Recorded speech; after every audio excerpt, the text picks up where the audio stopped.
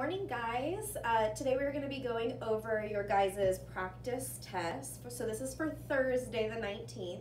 Today you guys will be taking your practice test to prepare for your test tomorrow. Um, I'm just going to go over a few questions with you guys to kind of help navigate you through this. So the first one is, I know you guys don't have access to base 10 block, base 10 blocks, that's okay. If you have to draw them out, feel free to do that too. That's what I did up here. So the first question is, Grant made a model of 21 times 3 using uh, blocks. How many tens blocks did he use? So when you guys are taking your test, please make sure to pay attention to what blocks they're asking for. So they're asking for ones, tens, or even hundreds.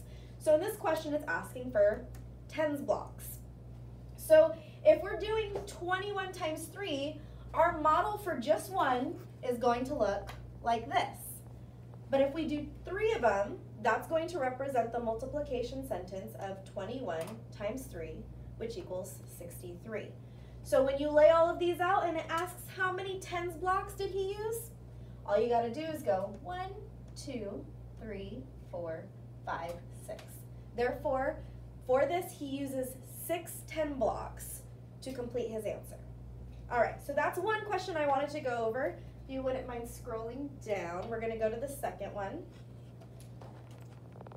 I'm gonna use my annotator for this. Perfect. So if the question is 21 times 4, the first thing we're gonna do is make sure our problem is stacked. So on your guys' practice test, it might already be stacked for you, it might not. I'm just gonna walk you through if it's not.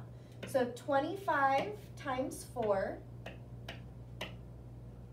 we're gonna stack it just like this. We're gonna go four times five, that's 20. Your zero goes in the ones place. Your two goes up top in the tens place. Then you're gonna multiply diagonally. Four times two, that's eight. Plus two, don't forget to add that, is going to be 100. All right?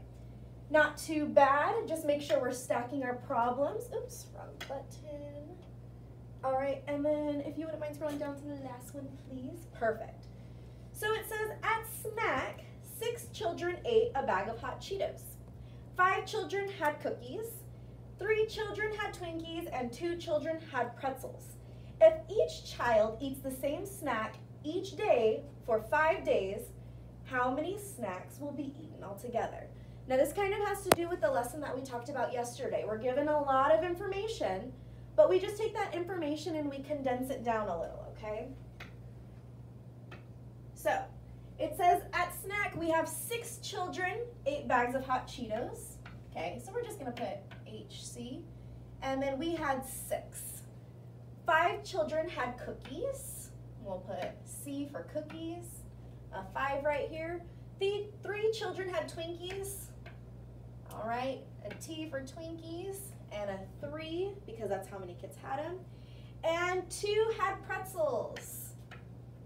So it says if each child eats the same thing for five days, how many snacks will be eaten altogether? Now, this is gonna be a four step, or I'm sorry, a five step problem, because what we're gonna do is we're gonna multiply each of these numbers by five.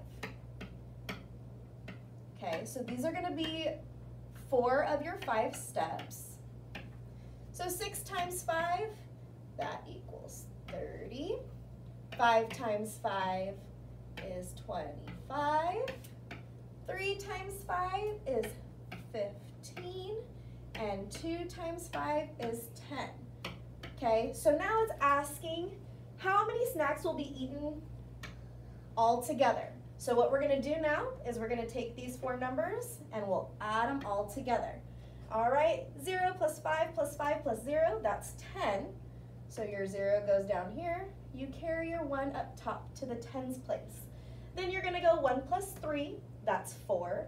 Four plus two is six. Six plus one is seven, and one plus seven is eight.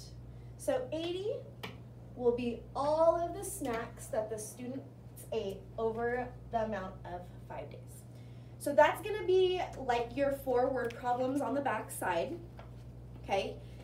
Everything else is gonna look very similar. It's gonna be all multiplication, um, and then it's gonna also talk about base 10 blocks, which I know you guys feel super confident with. Um, when you guys are finished with this, it's still an assignment. Please take a picture and send it to your teachers. Um, so whether it's Mrs. Beaver, Mrs. Turk, or myself, please send me so we know that you guys did it. And then if you have any questions, attach the questions with it, okay? And have so much fun. Bye, guys.